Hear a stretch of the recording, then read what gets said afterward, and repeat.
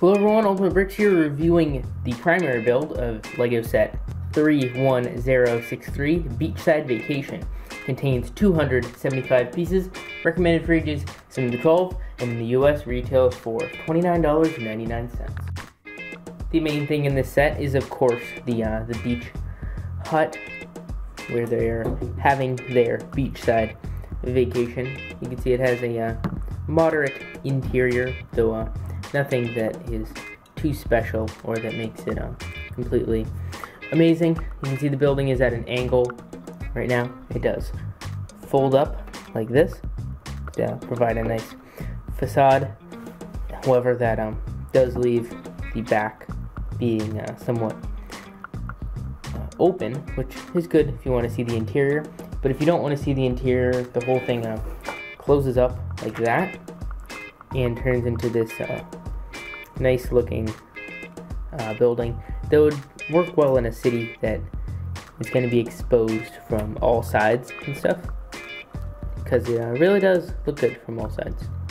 Some of the side builds are this little turtle, which is a pretty cool build using the flipper pieces, those uh, eyes, and nice uh, brown shell, as well as a little uh, water scooter, watercraft that does not float and is, has a little build, as well as just a inclusion of a orange surfboard, which is pretty nice. Some of the detailing near the bottom includes this tree, which is a nice build using an elephant trunk, and actually looks really smooth. I think they did a great job of making this look like a palm tree.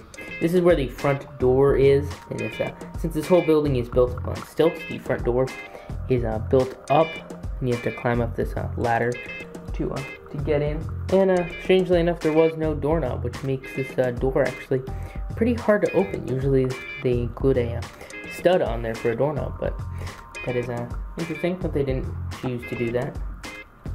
Given that this uh, set is actually more than 10 cents per part, I'm actually pretty surprised that there are no studs for doorknobs.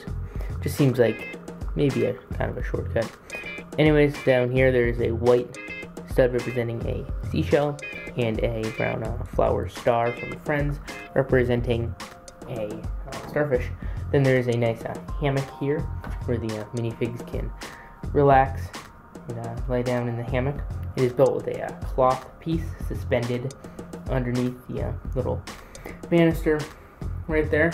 On the other side, that side would be the beach, and this side is already kind of slightly submerged by water right here. As you can see, it just kind of slopes in. There are some little white cheese slopes there to uh, signify some little waves or maybe some inconsistencies in the water.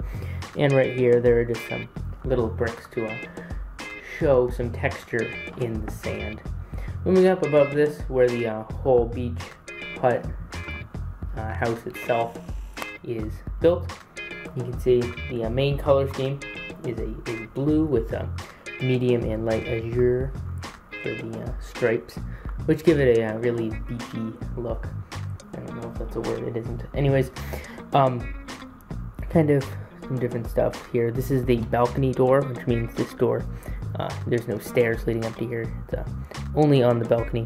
And there's a slight railing that does not extend the whole way because that part can be used for fishing, where there is a little fishing pole holder right here, and that thing could be snapped out just like that, and attached into the hands of our uh, minifig if he wants if he wants to go fishing, while um, the uh, railing provide a uh, nice handhold for anyone out there just relaxing. You can see there's some nice awnings that uh, are identical, just like that, though they are at different heights to accommodate for uh, ones on this nice window with some flower pots, and this one is just on the regular balcony.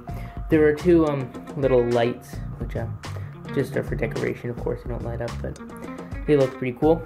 There is a little build for a seagull on the top, but it's just one of those standard Lego bird builds that uh, show up in these creator sets, so nothing too special to do a, a close-up on. And of course these roofs are at the same height because that is necessary for the uh, whole thing to fold up just like that. And I think that that is probably enough about the outside, and now we can take a look at the inside. So where you would first go up is these uh, these um these uh, spinning chair. It doesn't spin perfectly well because it's not on one of those turntable pieces.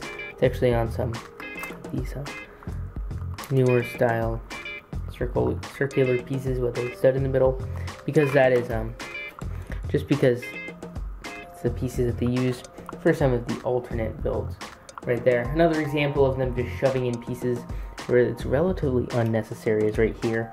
It's just like a stack of pieces that are used in the windsail, uh, windsurfer in the alternate build. It's just like, is this supposed to be a lamp or a pole or something? It just feels like kind of like they just shoved that in there slightly unnecessarily. Maybe it's a coat rack that's kind of too high. If you know what that's supposed to be and it isn't just a waste of parts, me in the comment section down below. And, I mean, not a waste of parts, but just parts storage because they are using the others. Anyways, there's a little fish tank right here, which is using a nice build where the fish tank is actually built into the wall. So you can see removing the tank part. The fish would just be hanging on the wall.